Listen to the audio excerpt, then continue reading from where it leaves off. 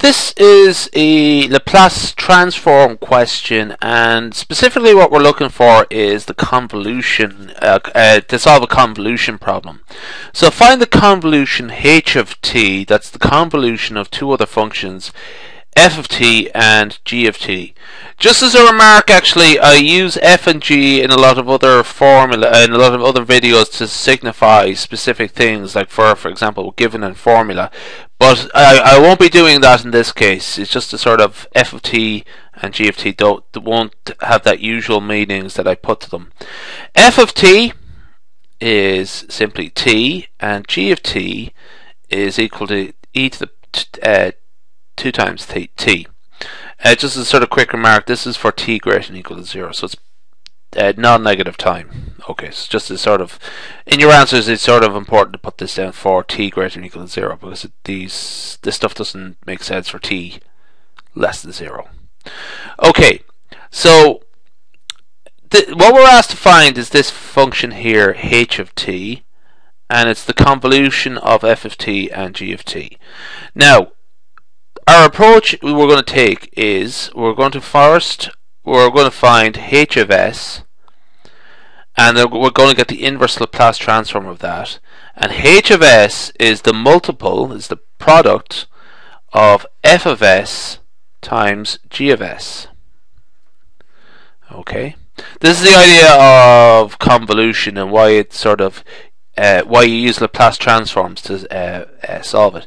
So what we're going to do here is get f of t, get the uh, Laplace transform of that. That's a simple one. And g of t, find the Laplace transform of that. There we have it there.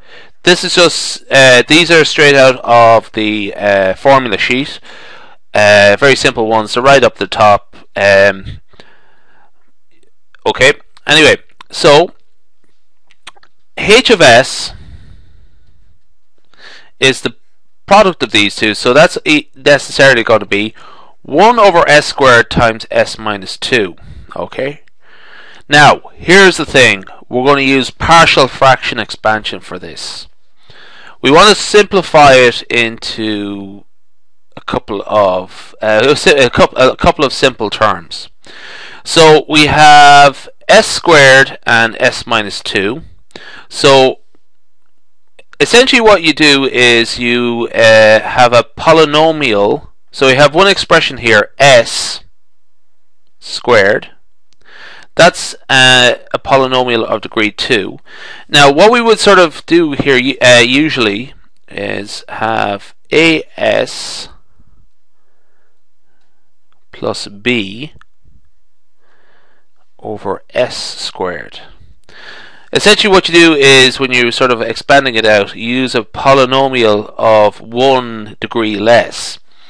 AS plus B is a polynomial of degree 1 because that is um, s to the power of 1. Uh, and the the, uh, the reason we use that is because it's uh, 1 less than 2, which is s squared.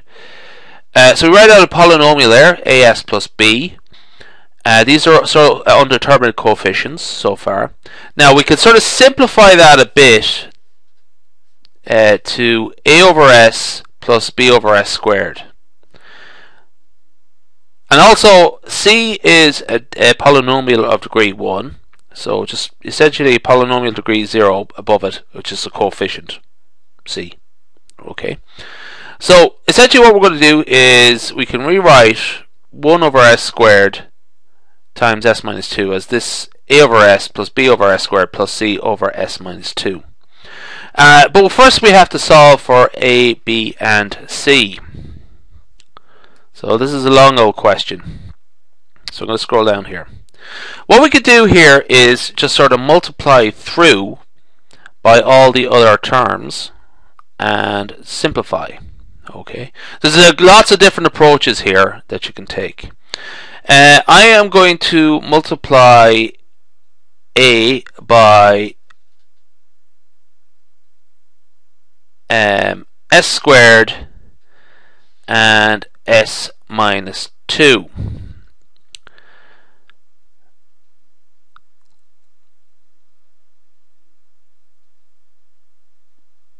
and it simplifies out a bit. So I'm just got sort of checking out where essentially we're going to have it all over the same um,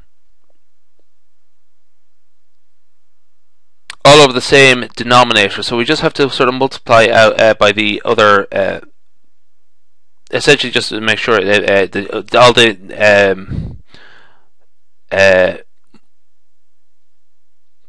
numerator is the same. Sorry, just a sort of just a sort of got a bit tongue tied there. Uh, so we have the denominator is s squared over s minus two. We have one a over s. So just to bring it up, we multiply a by s times s minus two, so that it's consistent. We have b over s squared, and we want that ha to have the denominator as s minus 2, so we multiply b by s minus 2.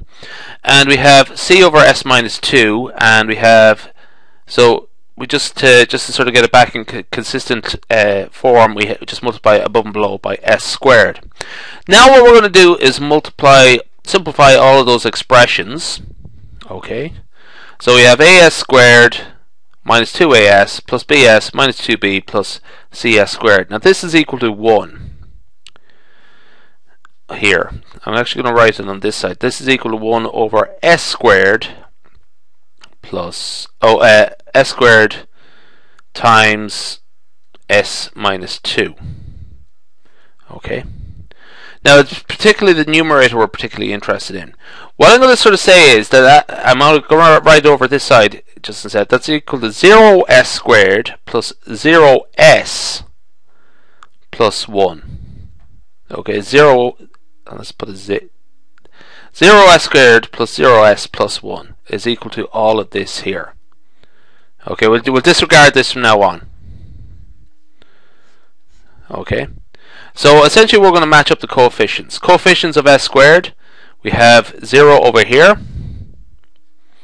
And we have the coefficients of s squared on this side, we have a and c. So 0 equals a plus c. Uh, so there we go. We have the coefficients of s. So we have minus 2a and we have b. Okay minus 2a plus b.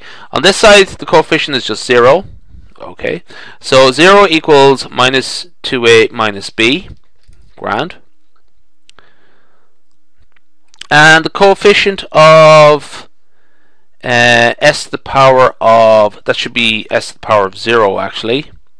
Constant. And so we have plus 1 over here and minus 2b over there. So 1 is equal to uh, minus 2b. So necessarily, straight out, b is equal to minus a half. Okay. Now, if minus 2a minus minus a half is equal to 0, a is necessarily equal to 1 quarter. So that minus minus is plus, uh, get rid of that.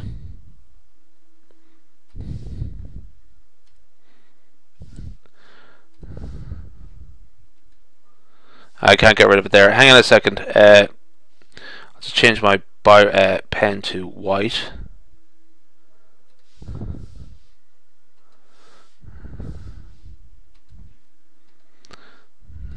There we go essentially I went in a big long rigmarole there, but essentially you can sort of quickly find out that A is equal to one quarter minus one quarter, and if A is equal to minus one quarter, A is equal to minus C.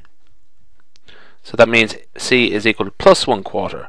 So H of S is equal to that.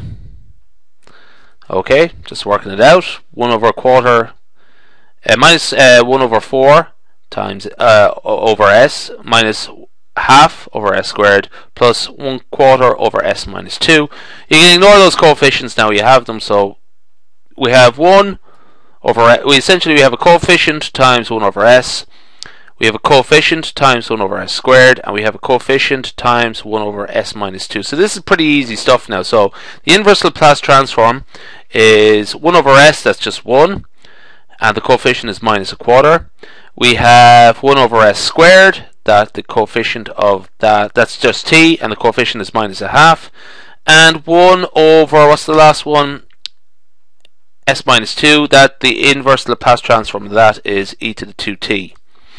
And there we go. That's just simple using the tables uh, there, just to find out those in reverse. Essentially, the uh, main part of this was actually finding those coefficients. Now, that's a technique known as partial fraction expansion. a lot of stuff there, actually.